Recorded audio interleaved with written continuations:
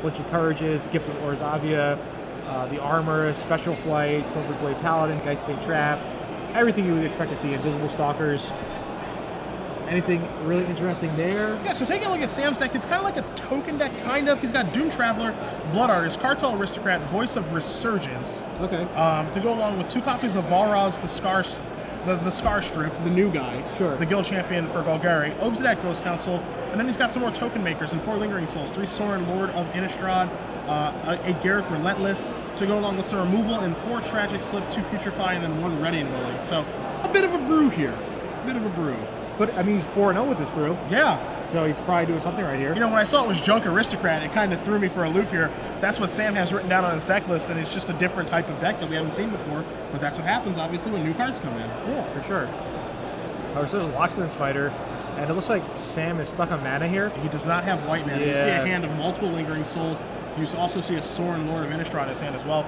You take a look at his white sources, four Temple Garden, four Godless Shrine, four Isolated Chapel, three Sunpetal Grove, 9, 10, 11, 12. That, I mean, that's 15 white sources of mana. Sure.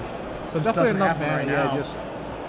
And it's tough because we, we, we saw this in a couple of rounds ago where the value lands are kind of you know preventing players from casting their spells. Mhm. But the value lands are so good where we saw with Jim Davis almost come back with just Gavony Township and all his creatures. Mm-hmm. So there's a second Loxodon Smiter there, and I kind of feel like this game might be over pretty quick. It's kind, it's kind of anticlimactic. Yeah. right?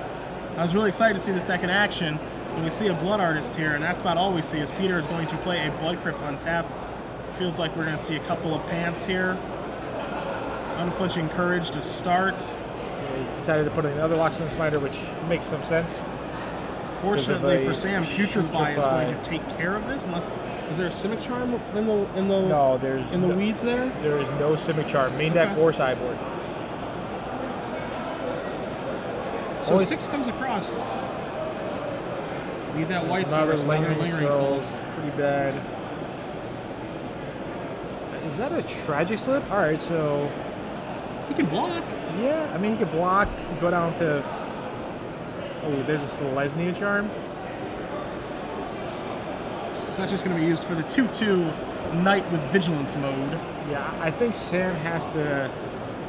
I, I mean, that's his only play is to, to chump with the Blood Artist and then use Tragic Slip. And I mean, Peter might just go for it now.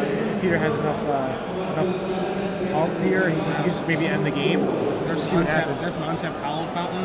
Yeah. He's already got five lands in play too, so this feels like a two spell turn probably. Yeah, maybe like, oh wow, Yeah. Silverblade Paladin and, And Unflinching Courage. Courage. Yeah. So put this on the token.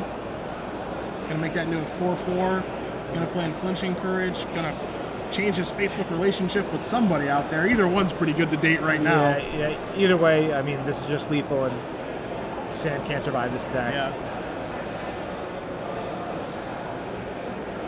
So I, I think Sam is just kind of going through the motions, but he, he, he has no no play here will, will allow him to survive. Yeah, nothing good to jump in front of. Both creatures having trample.